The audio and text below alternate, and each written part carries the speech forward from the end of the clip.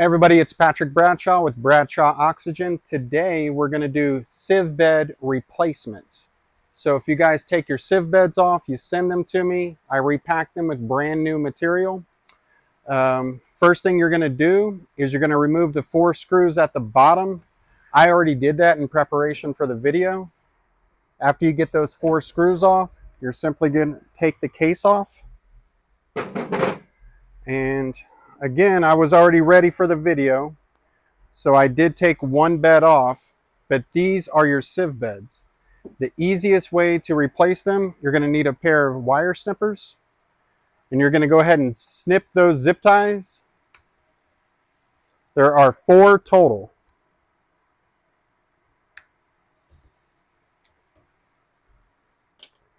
Next, what I like to use is a pair of needle nose pliers. And I like to get them on those tubes, wiggle it back and forth to loosen it up. Because you want to be careful not to break those little prongs on there. Next, I'll grab them, pull them off.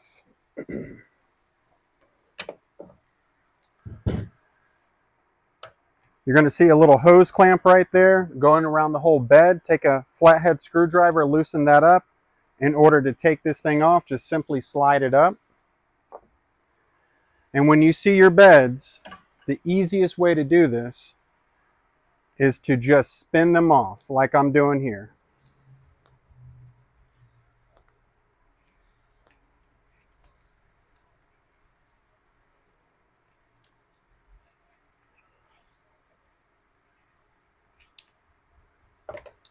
When you take these off, you pack them up, use bubble wrap, protect them. Mainly the top is what you want to protect so these little prongs don't snap off. They're just made of plastic.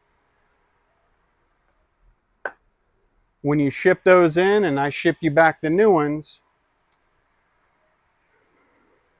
you're going to remove the two plugs and that third plug down here at the bottom.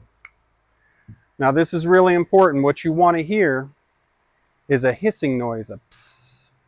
That's how you know these beds were packed properly. I don't know if you can hear that, but it's hissing and that's what you want.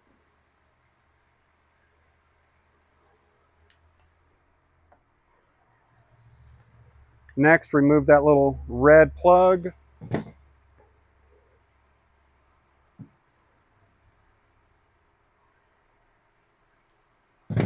Another thing about me is I've noticed a lot of the larger repair centers, I'm talking about the giants of the industry, they have been using cooked sieve. And what that means is they will take that material, dump it out, and they basically bake out the, the moisture in the sieve material, and then they put it back in there.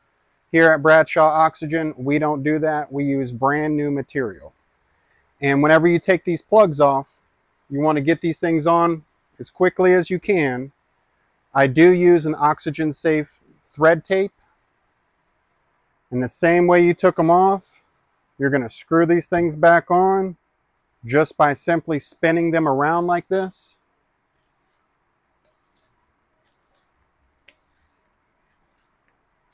You don't want to get crazy tight, just nice and snug.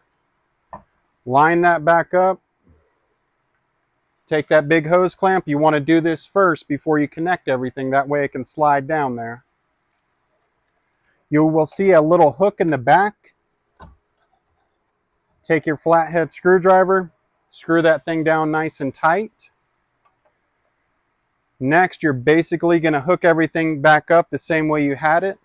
What I do like to do is I like to snip them back a little bit, cut maybe a quarter of an inch off,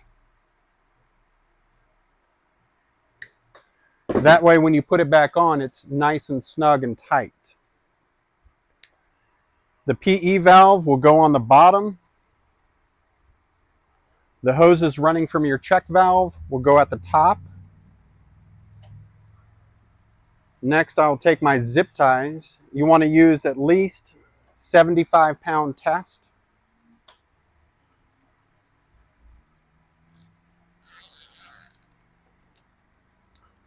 And these things are pretty cool. They're zip tie guns. You can tighten it down and snip it at the same time.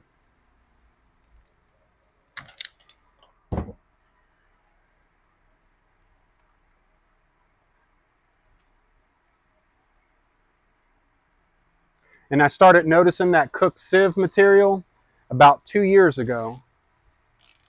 And I did try a barrel of it but I didn't like it because it doesn't last as long and that's not fair to the customer, especially if you're an artist or you're a patient on oxygen 24 7, you want to have the highest purity you can for as long as you can for years to come. And of course, the newer machines have oxygen sensors inside. So once that purity drops below, I believe it's 89%, you'll start to see a yellow light staying on. And that's how you know it's about time to replace those sieve beds. Also, you flame workers out there, you guys can tell right away if your flame's acting up, if you're not having good oxygen purity. So we got our zip ties back on. We'll pretend that we already tightened down this hose clamp. And when you go to fire everything back up, take some soapy water, spray your zip ties, and also it's good to spray right along these edges just to make sure I did my job right and I got those rings in there properly. You want to make sure you got no leaks.